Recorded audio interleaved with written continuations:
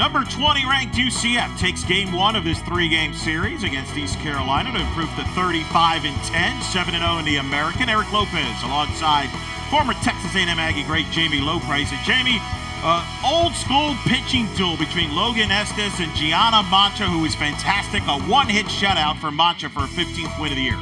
Yeah, pitching and defense was the name of the game. And speaking of defense, Gianna Mancha fielded her position well today. So many ground ball outs fielding her position. Really kept the ball down, kept the Pirates at bay. And look at that play right there, line drive there. But the Knights kind of struggled to get offensive. It was a scoreless game for a while. Mancha had to be on top of her game because Logan Estes was really matching her pitch for pitch, but Mancha was up to the task.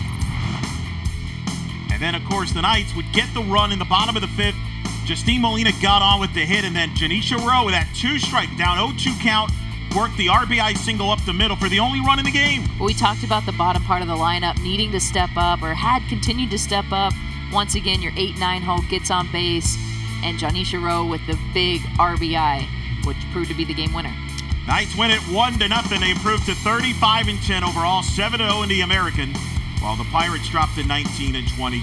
Eric Lopez here alongside Jami Lobpries saying so long from Orlando as the Knights once again victorious 1 0 improved to 7 0 in the American.